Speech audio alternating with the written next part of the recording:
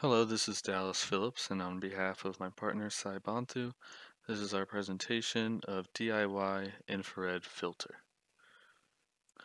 Alright, so the problem arose from my partner Sai's company.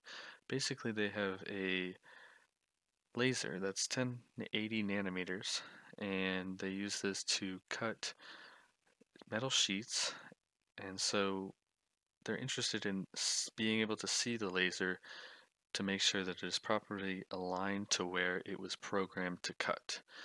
Um, and so yes, they could go out and buy a infrared camera and be able to look at it that way, but infrared cameras with gallium arsenide sensors in them can be very expensive and the filters that come with them can be also very expensive so we thought can we implement an inexpensive filter using off-the-shelf products, things that we use every day on a near IR supported image sensor and would that be good enough to be able to visualize this laser?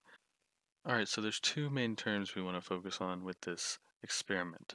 The first is spectral response. So for any image sensor or camera, the spectral response curve demonstrates its transmittance and absorbance capabilities in the wave spectrum. So essentially, which wavelengths will it capture and which wavelengths will just let it transmit through. Um, and the second term is quantum efficiency. This refers to the ratio of incident number of photons and converted electrons. So basically, an image sensor works from incident photons going onto the sensor, and those photons turn into electrons via the photoelectric effect. And so that efficiency of the number of photons that are incident on it and the number of electrons that come from it is quantum efficiency. Alright, so we have a couple of sources that we want to test out and we want to test a bunch of materials with those sources to compare their IR filtering. Uh, so we're going to be using a desk lamp, a ceiling lamp, a red LED pen, and a security camera that already has some IR filtering built into it and we're going to test a bunch of materials, mainly that include a floppy disk and a processed film roll. Floppy disks make great IR filters due to the iron oxide layer that is put on them, and iron oxide basically naturally blocks visible light and lets IR light transmit through.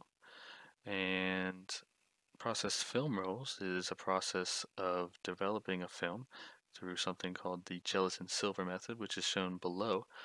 Um, and basically, so inside the camera, when you take a picture, you have the bare film and then it gets exposed to light on the film itself. And then this film, once you're done with the camera, you send that film off to get it chemically processed. And this goes through a bunch of baths of chemicals that basically make a negative or positive image um, and make it permanent on the film itself and then you go into a refinement process that will make it light resistant and this process is what makes the film roll a great IR filter because it'll block all visible light because it's light resistant. Alright, so testing the desk lamp first, you can see our graph here um, with no filter, it basically has two peaks, two separate peaks, and the intensity of the desk lamp is shown. Um, but when we add one floppy disk, you can see that the orange curve right here is much lower than the original. And this basically tells us that not as much visible light is going through. So the floppy disk is an effective filter of visible light. And when we added two floppy disks, you can kind of see the trend of it, but uh, it's blocked by the film roll and ESR film, which all three of those as well um, are also essentially zero. I mean, there's a little bit of a peak there in the film roll and maybe a little bit of the ESR film, but compared to the original, how much light was going through, this is a dramatic difference in the amount of light that's being transmitted. Alright, so then going on to testing the ceiling lamp in a similar fashion, we have the bare curve from the ceiling lamp and it has a variety of peaks all in different uh, wavelengths and then we really just needed one floppy disk here and it essentially blocked out all of that visible light and so again we've proved that a floppy disk makes a great IR filter for a cheap even digital camera. Alright, so moving on to the red LED pen. The red pen curve and the 810 nanometer curve are the same, bare, no filter attached, um, but they're just at different intensities. Um, so then when we add a film roll, so this film roll was actually undeveloped because due to timing constraints we could not get it developed. Um, so we added an undeveloped film just to see how it performed and it did cut out some compared to the 810 one, um, but still a lot went through it from the 620, 630 nanometer peak that we see. Um, but when we added the floppy disk, you can basically see this gray peak right here, and that is blocking out almost 100% of this peak that we see at 630, right? And even more so in two floppy disks, this yellow curve that you see is almost at the zero line completely. Um, the interesting part of this experiment is that we saw from the red pen, we already saw a small wave infrared being emitted from the pen and being picked up by the spectrometer.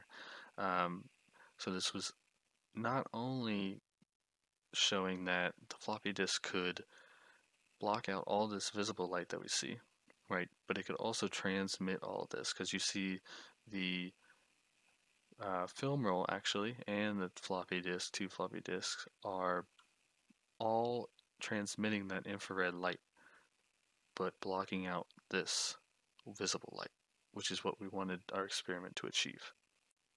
Alright, so going into experiment 4, which my partner Sai will go into on the next slide, but basically the setup is we have a security camera that has both visible light and near infrared light sensitivity in it.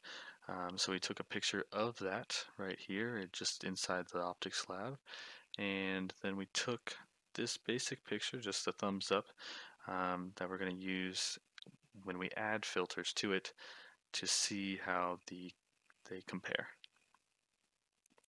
Once we have established a proper image in this experiment uh, with the thumb and all the background components in the lab uh, seem to be darker uh, in the image uh, with, with without any filters.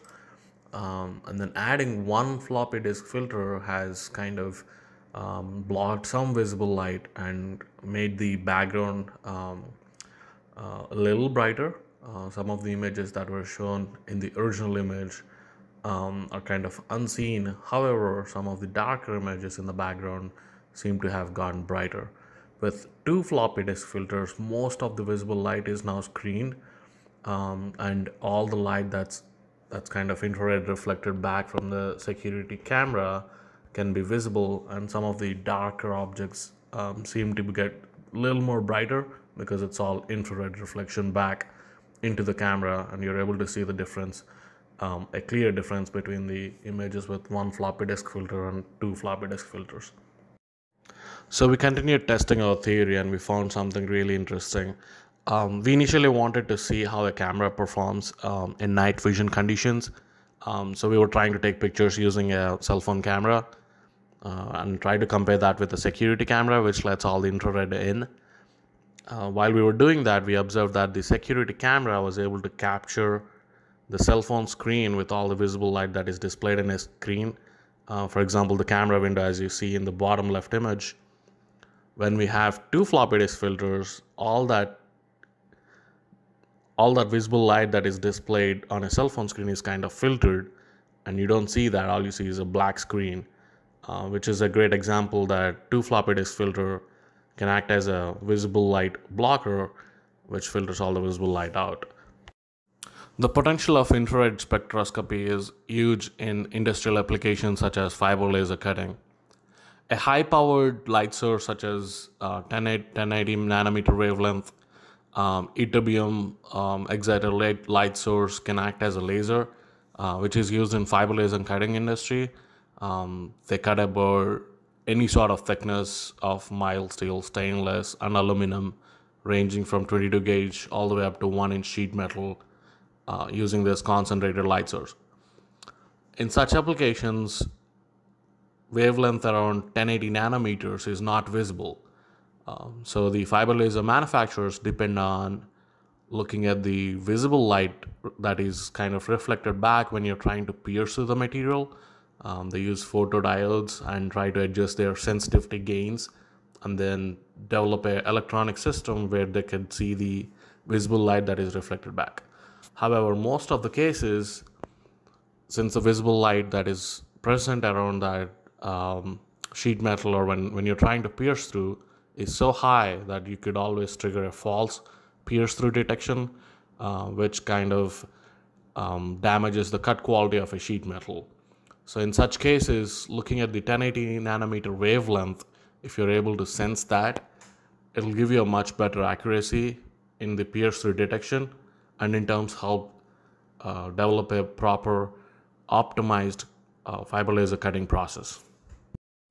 So this theory can be well suited uh, for applications like fiber laser cutting um, because if you're able to block all the visible light for a camera that can let some of the near IR in and then somehow amplify that signal um, by filtering out all the heat signals that, that can be seen due to metal sheet metal cutting. You should be able to see 1080 nanometer or something around that wavelength light um, by blocking all the visible light out. So there is a better chance of looking at the cutting process and then detecting the pierce through the material and also see how good the cut quality can be. Um, that's giving um, a power to the fiber laser manufacturers um, to tune their cutting process in a better way. Finally, to conclude this project, it can be deduced that the floppy disk can be very effective IR filters. Um, they can reflect majority of the visible light black and just transmit all the near IR and shortwave infrared light into the camera. Um, these can be very economical uh, filters to be connected in series with uh, any off-the-shelf camera, which can let some of the near IR in. We might need some sort of amplifiers to boost the signal in near IR. Um, however, the floppy disk will be very economical solution because they just have um, an iron oxide layer, which can, uh, which pretty much acts as a visible light blocker um, or reflector.